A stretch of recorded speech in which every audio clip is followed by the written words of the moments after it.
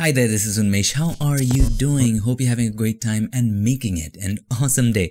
So today I'm going to show you how to select and mask transparent or in other words translucent objects in Photoshop like this veil or have a look like these dragonfly wings. So I gotta be honest with you. Here's the thing.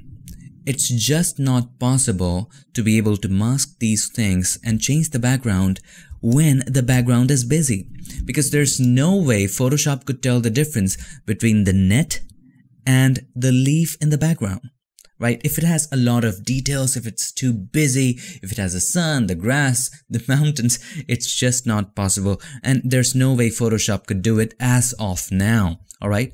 Have a look at this. If the background has a distinctive color, then it might be possible. Have a look, for example, here we have the green background. So we can use that information that the background is green. Okay, so we tell Photoshop, select everything that is green and remove that. In that case, it's possible to do it through that way, but there's a little trick to it, and we're gonna talk about it. So just keep in mind the background needs to be seamless or distinctive. It doesn't have to be busy because if it is, it's just not possible to select these things. Okay, so how do we do it? First of all, let's just unlock the background layer and we will do it in one layer. That's okay. Now, if you want, you can put something in the background and if you just, let's just put, say, a solid color adjustment layer and choose black color, hit OK and I'm going to put it under this thing. We're going to select the layer and then select any selection tool and then we will enter select and mask. So I'm going to choose the rectangular marquee tool and click on select and mask. Now inside of select and mask you can choose the view to on black or on white. I'm going to choose on black. Now what happens in on black is that whatever is selected that shows up anything else which is not selected that is completely black if the opacity is 100. So Right now, nothing is selected. Let's decrease the opacity. And if you select something, for example, if you paint over her, just like that, I'm sorry about the sound. All right, if you paint over her, if you select that, have a look. If the opacity is zero, it will show you everything irrespective of whatever is selected. If the opacity is 100, it will show you only the areas which are selected. I'm going to clear the selection by clicking here, clear selection. And let's decrease the opacity to something like this. All right, cool. Now let's click on select subject to be able to quickly just let's see what Photoshop does. It automatically tries to select the subject and sometimes it does a pretty good job of doing that. Wow, it really did a nice job. Now let's zoom in and let's fix it. Well, it's pretty good here and it needs a little bit of fixing there. So with the quick selection tool, I'm going to make the brush a little smaller, just like this. And you can take all the time in the world to fix all of that stuff. You can use the brush to fix it. You can take your time in the world. Now, here's what I wanted you to know. Let's zoom out a little bit. There's this tool called the Refine Edge Brush tool, all right? And wherever there is hair or fuzziness, you can just paint over those areas with the refine edge tool and it kind of tries to solve those areas. However, apart from that, have a look here. You can paint the whole thing which you think is translucent and have a look. It goes transparent, I mean translucent, and it's able to select the whale. Now when you release it, I want you to have a look at this. Isn't that amazing? Now you can change the background to whatever you like. You can do the same right here. Pretty good. It's processing. It looks pretty good. Now, once you're ready with this, once you have done all those, selected all those intricacies, I'm not gonna do it. So hit OK. And have a look at this. You can change the color to whatever you like. Just focus on the veil. Just double click on the solid color adjustment layer. Say, isn't that awesome? Also, if you want to make sure that, just let's hit OK. If you want to make sure that it's a mask, all right, you need to make sure, let's go back to the select and mask thing.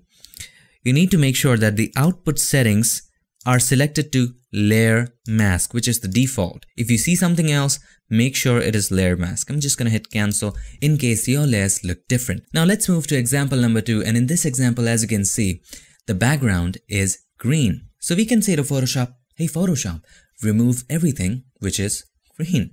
But there will be a problem and the problem would be you will see some fringes on the wings because as you can see the green has also been inside on the wings of this thing. So how do we do it? First of all, let's make a copy of the background layer.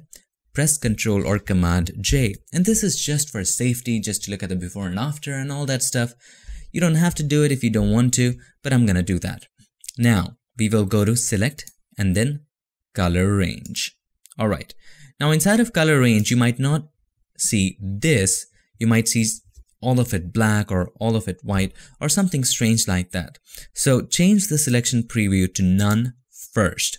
Then what you would do with the help of the eyedropper tool, okay, click on the green around the dragonfly, okay.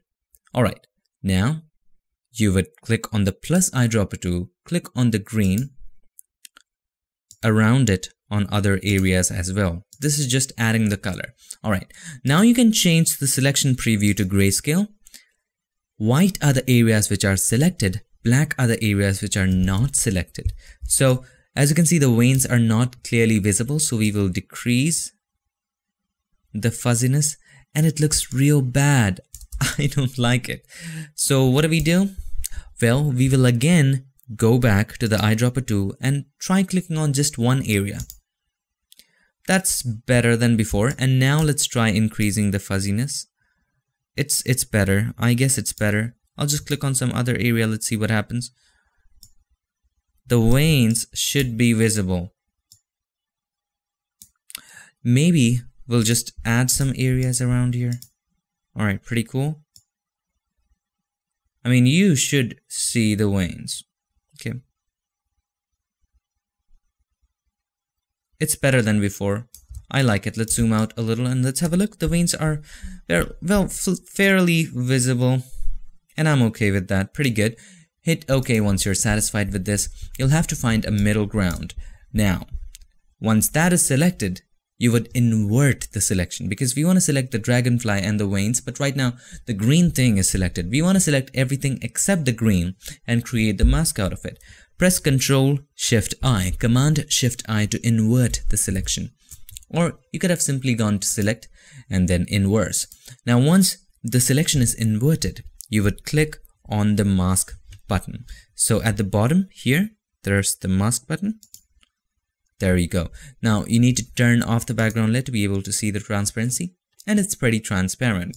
What I would suggest you to do is to change the color to something like, let's choose solid color, let's see white. Okay, now there's green fringe to it, I know, and we have to get rid of it. So let's go back to the mask, click on the mask, and you can hold the Alt key or the Option key and click on the mask to just make the mask visible. Now we have to make adjustments to it. We will select the brush and if we just simply paint with black, it does hide it, but if you paint over the wings, it also hides the wings. So what I would suggest you to do is to change the blend mode to overlay. When you do that, it will only paint over the extremely dark areas or the areas which are closer to black. Okay, It won't paint on the completely white areas when black is selected as the foreground color.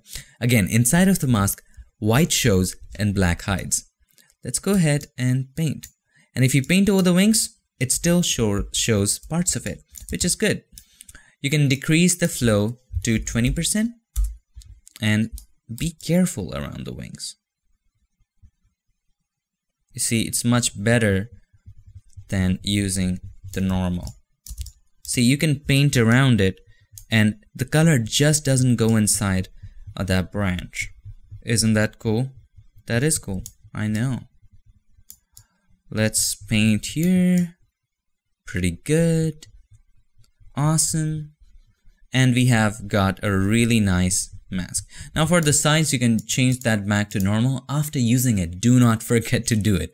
Change that back to normal because if you're using the brush for something else, it stays in overlay and it will freak you out. Alright, so hold the Alt key or the Option key, click on the mask button. Now you have a pretty nice mask, but the problem is it's still got green in it. How do we get rid of it? Well, it's pretty easy. Well, you can desaturate that area or there are tons of things which you can do. But uh, what I would suggest is, well, we can do this. We can click on the adjustment layer icon and choose hue saturation. Alright, and we can decrease the saturation but if we do it will decrease the saturation in all of the layers which are beneath it. We want to clip it just to this layer. So click on this button to just limit it just to this layer all right? What happens is okay let me show you what happens if we do not clip it. Let's click on the clipping button again. Let's change the color to something else. Let's say it was red. But we're selecting red it's not red. Why? Because it's not clipped. So if I decrease the saturation, see, it's, it's making everything desaturated. I want to limit it to just the dragonfly. Click on the clipping mask button. See this arrow? This means that it's only affecting the dragonfly thing. And then when you decrease the saturation, see, it just affects that. Okay, so keep that in mind. We don't want red. Let's keep it white for now to see everything. Let's go back to hue saturation and then Let's go to greens. Select greens and let's try decreasing the saturation. Does it take it away? No. Just increase the range from here.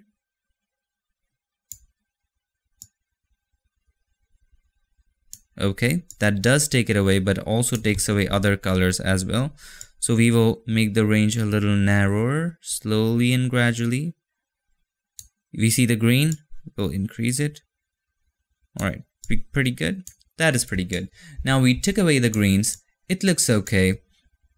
Probably we'll take it even more. Just like that. It looks pretty good. Now, let's close it. Let's turn it off, turn it on. We took care of the greens. Now on white background, it does look pretty okay. But if you choose something like dark red or if you choose something like say um, blue something like that. You wouldn't want something like that. You would select something like this. But in case you select something like that, or let's say something like this and you would change color to something like this color, right? Now, at this point, what you can do, what I can suggest you to do is, it looks great on bright yellow, but to be able to, to see it in colors like blue, hit OK, and you can change the blend mode of this layer to multiply. So from normal, you can change that to multiply. You can see the wings, but it also darkens the dragonfly. What to do now? Well, it's very simple. You make a copy of this. So select both of this, alright, and make a copy of this. Press Ctrl or Command J. Now, for this one, the top one, you would change that back to normal. Inside the mask. Select the mask, take the brush, and you can hide the wing because if you turn it off, it does bring in the extra color on the dragonfly, but it also does bring something extra to the wing that you might not want. Or if you like this, you can keep it that way. That's one other way to do it. You make a copy, one is multiply, the other one on top of it is normal. And if you want, you can select the mask and hide Make sure the black color is selected, brush, and hide the wings. Just paint over the wings inside the mask. Hide the wings on that. Okay. See the mask? You see, we are hiding it. You can increase the flow and you can totally hide it. Hold the Alt key or the Option key, click on the mask back again to show that back up. Now that's totally upon you whether you want to hide it or not. But I wouldn't. What I would do, I would keep it. Keep it. Alright, just like that. I would keep it that way. Now you can change the color to whatever you like and it will work. Isn't that pretty cool? But for colors like white, you wouldn't have to keep this. So that's pretty much how we would select translucent or things where there's a net or things which are a little bit faded and translucent. You can select stuff like that. All right, I'm going to hit cancel. But keep that in mind. One thing is important. It's again impossible to select objects which are reflective. So if you have a glass and it's reflecting everything in the current scenario, in the current landscape, if you put it into something else, you will have to recreate the reflection, you would have to recreate everything, which gets really impossible to do. In those scenarios, if you are doing something with reflective objects, might as well consider using 3D to create it. Alright, that's much more easier than to be able to just copying it, pasting it, and masking it and recreating all those reflections. Using 3D is much more easier in those scenarios. Anyway, not sidetracking, those are the two ways to do it. Number one way was using select and mask and if you are using an older version of Photoshop, you might want to use refine edge to do selecting this net or if the background is of certain color, you can use color range. And that's pretty much it for this video. I hope this video helped you and if it did, make sure to give us a like and also do not forget to subscribe and not just subscribe. Ring the bell so that you my friend don't miss any other future tip, trick or tutorial. Thank you so much for tuning in. I really appreciate your time. I'll see you guys again in my next one. Till then, stay tuned and make sure that you keep creating.